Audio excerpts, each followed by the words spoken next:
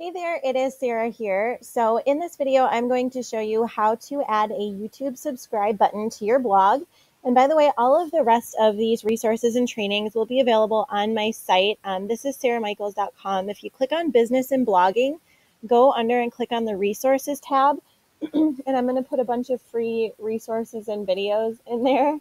Okay, so if you want to embed a subscribe widget button into your blog post, for example, this is what it's going to look like when you are doing your post.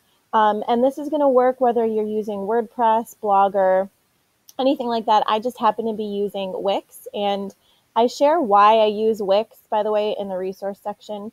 So the next thing you're going to want to do, um, if you don't want to Google this, you can, again, click on this in the resource section, is go to the YouTube subscribe button. You can make this um, type in the name of your channel ID.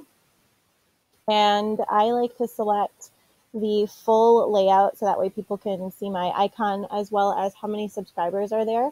And then I'm going to go ahead and snag the code and I'm going to copy that by hitting Control C.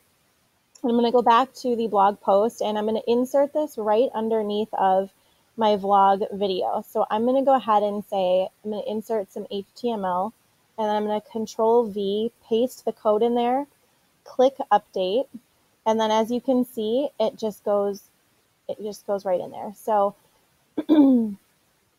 um, as soon as I publish the post, that will be located in there. And I'm going to put a little line in here that says, if you haven't already, subscribe to our channel and then uh, we would hit publish post. But for now, I'm just going to save this as a draft. So that is how you add a YouTube subscribe button into your blog post.